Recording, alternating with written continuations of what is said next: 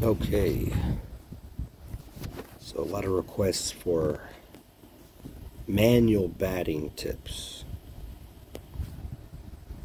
Let's see what we get. Taking a while. Usually when it takes a while, usually it means it's going to be a bot.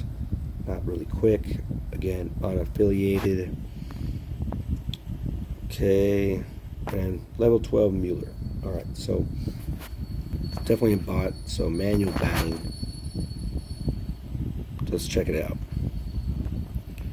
So one, again, like I said in the last video, I circle around to kind of get a good sense of the strike zone. Opposite field to the wall. You got to understand the strike zone. You got to know when to take balls, just like regular baseball. That's terrible by me. And easy double up. So bad example of using the strike zone there. Let's see if I can make it up for it real quick here. And to the gap. Of course, like level 13, the ball's coming a lot quicker than level 9, level 10, level 11. But understanding the strike zone is key. Ah, a little lucky there. I don't know what that is. It's not even called an air, but it goes right through the legs. So sometimes, as my coach would say, better be lucky than good. And cool right on time.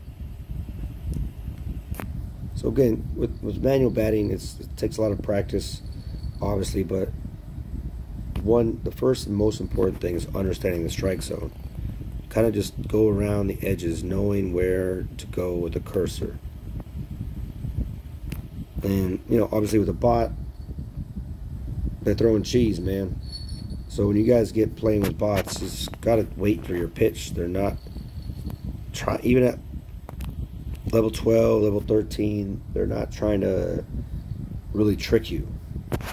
It's like batting practice. All right pitching so Jay, again, pretty decent with this guy so far. And again, with pitching, you sit there and kind of look at the corners. Now, bots are unpredictable. Some days you just you're gonna lose. But so far, I've noticed that Jay's control inside is pretty weak.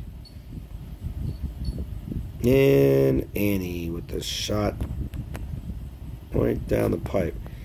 Okay.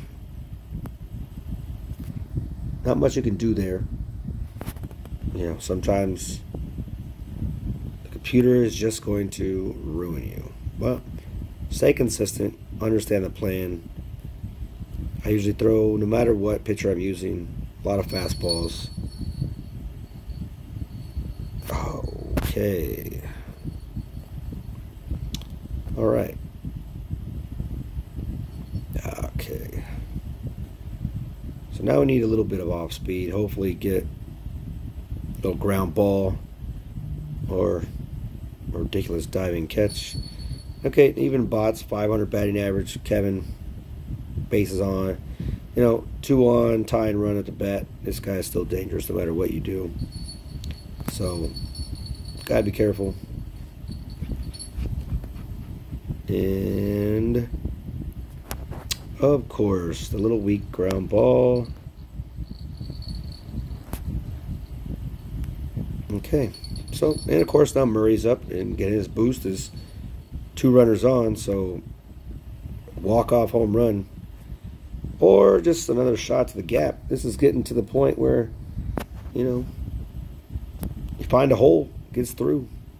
Not much you can do. Make good pitches, hit the corners.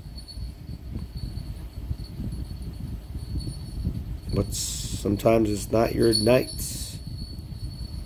Now, let's see if we can get two strikes on Gibson here. We have a good. All right, foul ball. So here's one of my things I've been doing a lot. Fork ball up high, strike three. Ah, okay. So let's try that one more time, a little more inside. There it is. That's I've been doing that for a while. I get a lot of high high accuracy on that, right? It gets done. Now now we gotta get Durant to kind of do some Durant type things and choke. All right. So Let's throw a little change up outside. Waste pitch, as they say. Go back to that top fork ball inside. Guys, trust me, there's a new little, I don't know if it's a glitch or not, but it's been working with any kind of fork ball pitcher. So definitely try to hit that up. You have a good chance getting that strike three, get two strikes on them. Manual hitting, number one, manual hitting, work the strike zone, understand the strike zone, lay off bad pitches.